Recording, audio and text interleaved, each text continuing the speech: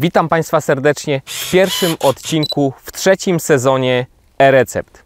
Nie bez powodu znajdujemy się na plantacji rzepaku, bo właśnie e-recepty to są porady prosto z pola i przychodzimy do problemu, aby go rozwiązać.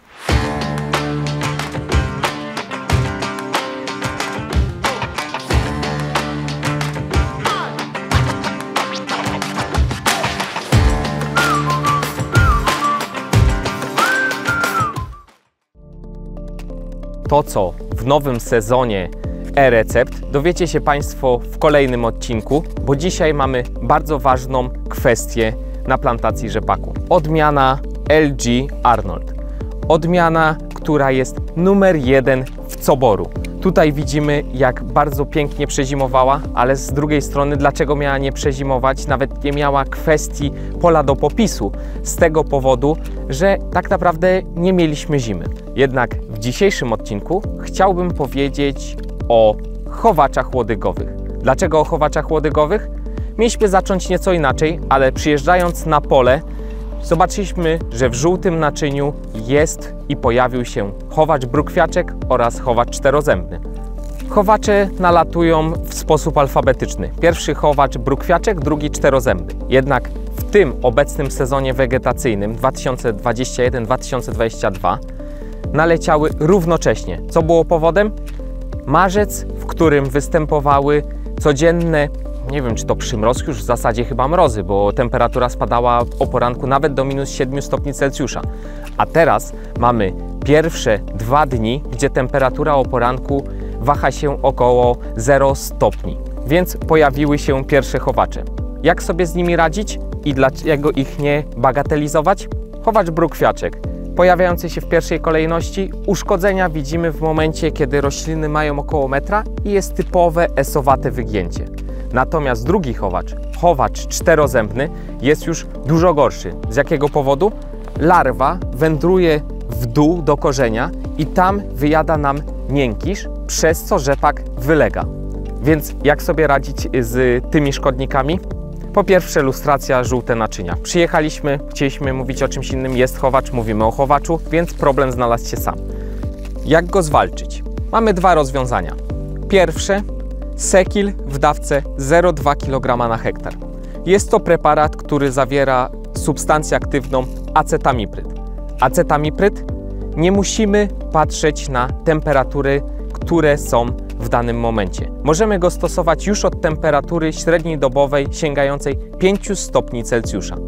Preparat dodatkowo jest to preparat o działaniu systemicznym, czyli krąży on nam w roślinie.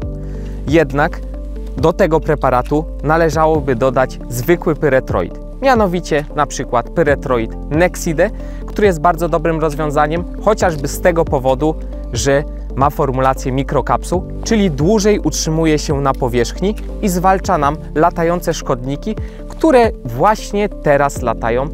Dlaczego teraz? Jest słonecznie, ciepło, y, termometr wskazuje 15 stopni Celsjusza. Więc mamy tutaj pierwsze rozwiązanie. Sekil 0,2 kg na hektar połączony z Nexide 0,07 litra, czyli mówiąc potocznie 70 ml Nexida połączeniu z 0,2 kg Sekila. Kolejne rozwiązanie, mianowicie preparat Gradient. Preparat Gradient posiada w swoim składzie fosmet, substancje z grupy fosforoorganicznych, czyli tak jak doskonale Państwo wiecie, substancja która należała do tej grupy, to m.in. chloropirifos, który został już wycofany. W zasadzie mamy ostatni moment, aby wykorzystać ten preparat do zwalczania chowaczy, ponieważ w następnym okresie wegetacyjnym będzie on już niedozwolony. Czym jest gradient i czym jest fosmet? Substancja działająca nam powierzchniowa, bardzo dobrze wiążąca się z rośliną. Z tego powodu okres działania to 14 dni, czyli 14 dni spokoju. Substancja powierzchniowa wiążąca się z kutikulą, czyli tak naprawdę mamy bezpieczeństwo, że nie zostanie ona zmyta z powierzchni liścia. No, z drugiej strony chcielibyśmy, żeby została zmyta, bo wyczekujemy tego deszczu, jednak nawet jak ten deszcz przyjdzie, to nie mamy co się martwić o ten preparat. Jednak pamiętajmy, stosując preparat Gradient, który zawiera fosmet, musimy mieć średnią dobową temperaturę około 8 stopni Celsjusza.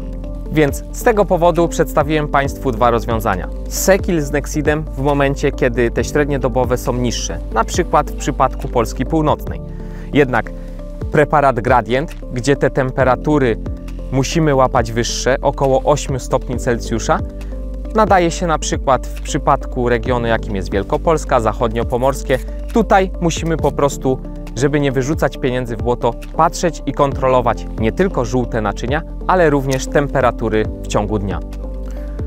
To na tyle, jeśli chodzi o chowacze. Wiemy doskonale, że to szkodnik, którego larwy wyrządzają nam duże szkody, o tym mówiliśmy. Wiemy, jak go zwalczać, więc proponuję lustrację pól oraz odpowiednie zwalczenie odpowiednimi preparatami. A tymczasem kończymy. W kolejnym odcinku przybliżymy, o czym będziemy mówić w tej serii w trzecim sezonie e-recept. Do zobaczenia.